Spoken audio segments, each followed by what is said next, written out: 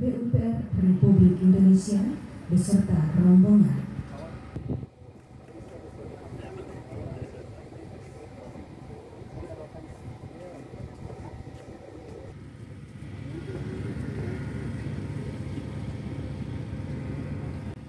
Direktur Pengembangan Kawasan Pemukiman pada Direktorat Jenderal Cipta Karya Kementerian PUPR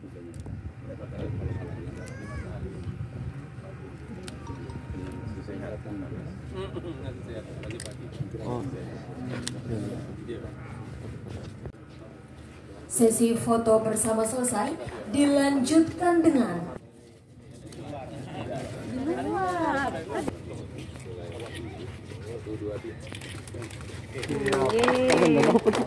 Ayo. dua tiga izin lupa izin satu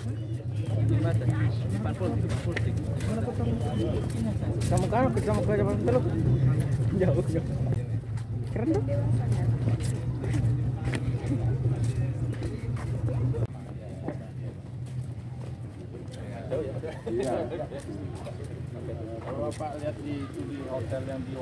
Atas nama pemerintah dan masyarakat Kota Kendari menyampaikan banyak terima kasih kepada pemerintah pusat dalam hal ini Kementerian PUPR Republik Indonesia melalui Dirjen Cipta Karya khususnya Direktur eh, Perumahan Pemukiman yang mana hari ini kita sudah menyaksikan sendiri penyerahan eh, kawasan Papalima atau eh, kawasan pemukiman pem- perumahan pemukiman kumuh yang ada di Kelurahan eh, Lapulu dan Pudai yang sudah dikerjakan oleh Kementerian PUPR sejak tahun 2021 sampai 2022. Tentu harapan kita penyerahan ini kemudian akan lebih maksimal lagi dimanfaatkan. Dan dalam konteks pemanfaatan maka pemerintah Kota Kendari sudah menyiapkan bahkan sudah ikut serta sejak 2021 untuk mendampingi, memanfaatkan, eh, mengalokasikan program kegiatan untuk menjaga keberlanjutan eh, program ini.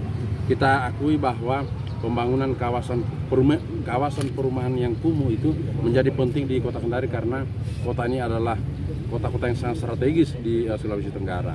Nah harapan kami penyerahan ini bukan hanya sampai berhenti pada kawasan Lapulu Kudai tetapi akan terus dilanjutkan pengembangan di beberapa kawasan eh, sebagaimana laporan kami tadi.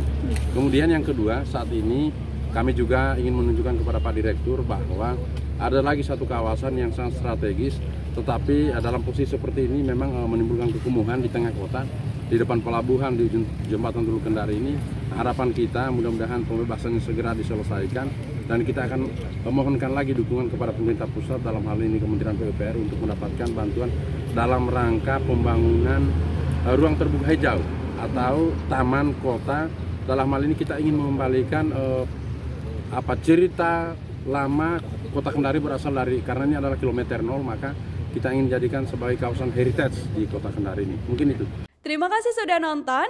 Jangan lupa like, subscribe, dan share ya. Thank you.